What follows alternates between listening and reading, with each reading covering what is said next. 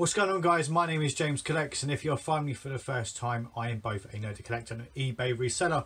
It's that time again, it is a weekly roundup of all the things that I've bought from charity shops throughout the week. Because that's what a weekly roundup would obviously be.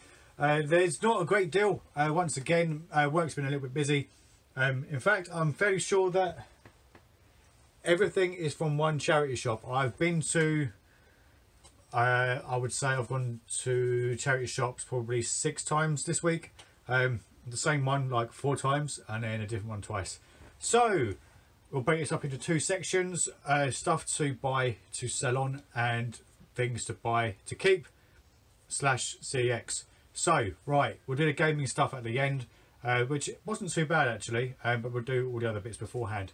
So picked up this item for now I'm not sure how much of this do you guys can see, but um, that is Rupert the Bear, um, and it's to be fair, I don't even know what it is. I just sort of picked it up and thought, yeah, that would do.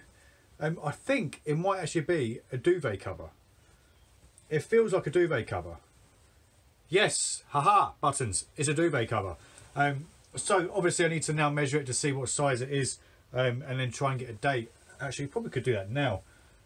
We'll see how disappointed I'm going to be when I realise it is something completely new. Although I don't think it is. It can't be. It smells so lofty. Any dates on that? No. It's a single bed. It's a kid's bed. Which, you know what, would make sense. It is Rupert the Bear. Um, nothing on that. And then, let's go right down to the end. But it's, it is quite nice actually. Can I feel anything in that? No. And no. Well, if anyone can help me out with a date or how on earth I can ID this for a date. Um, but I've got somewhere to go now, which would be a Rupert the Bear single kids bed. I do quite like it, but it smells so lofty. Next up to resell, we have Speak Out. Um, it's the game where you have to put like a a plastic thing in your mouth which keeps your mouth open so your teeth are all out on show and you've got to try and say certain things. So 50 pence i'm probably looking about nine pound 99 including delivery. So it's not huge amounts it's just standard board game fodder to be honest. Uh, probably won't sell until christmas as well i'd have thought. But for 50p and it's sealed i've got to pick it up Right then, CEX Trading. Uh, two items, not the biggest or best items. We have 101 Dalmatians DVD. Uh, absolutely fine. Paid 25 pence. And we also have the Rescuers. Um, is this down under? No, just the Rescuers. So again, 25 pence. I think that's about a pound trading. And uh, I don't know, maybe about a pound 20. I'll be honest, because I've only got the two items, I didn't see the point in going onto the CEX website and um, seeing what everything was worth. So 50 pence, um, yeah, probably a couple of quid in vouchers maybe. So last two items, um, this was, well, last three items. These two were two of the last things um, that I see in the shop. Um, we have Zelda's The Wind Waker. Um, the two game edition. If I show you guys inside, we have Ocarina of Time, we have Wind Waker. So paid a pound.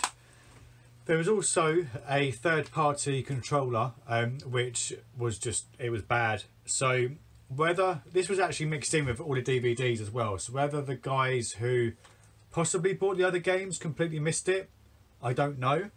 Um, failing that, it's a game that I need. It was only a quid. Uh, the case is a bit screwed, uh, but I'll be able to find another one.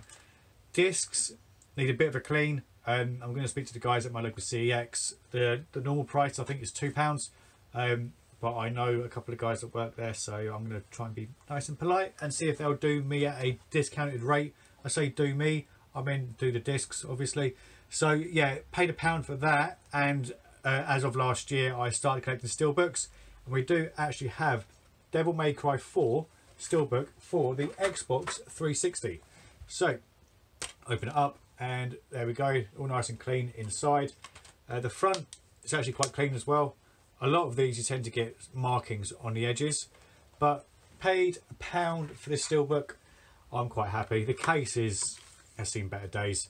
um, and I've also put it on backwards which is uh, just me all over really but yeah collector's edition there was also Oblivion but the the outer case was ruined um, and it was missing a disc as well.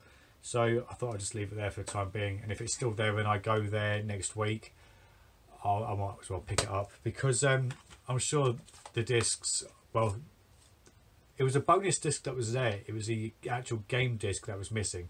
So I'm sure I could replace that no problem at all. Last item and possibly my favourite item of the week we have a Dreamcast controller paid a whopping two pounds. Uh, yeah I got to this charity shop at the, uh, the, the start of the morning nine o'clock because that's when it opens. Um, and look down I don't really look at steering wheels because they're normally the Xbox ones and they're the third party ones that are worth absolutely nothing. But obviously I noticed that little symbol just there which is obviously Dreamcast. So I've not tested it yet um, but I do plan to. As you guys might be able to tell there's a TV behind me which is not normally there I'm trying to test out the N64 that I bought last week however I'm not having much luck um, I've bought a new TV uh, cable from eBay from a reputable seller and it's not working. I'm getting the sound, but the image is not quite there. Um, I spoke to someone and he thinks it might be the power supply, but in my head that doesn't work because you're still getting the, the sound and not the image.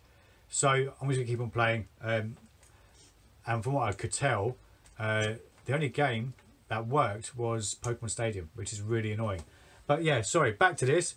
Paid £2, uh, it's actually worth about 15 possibly 20 quid if you're very, very lucky. Um, but yeah, I'm happy with that. It's something that I don't have. One day I may even find a box for it. But that is it from me as always. Thanks for watching. Don't forget to like, share, comment and subscribe. And I will see you lovely lot in the next video. Good gaming and happy collecting. Adios.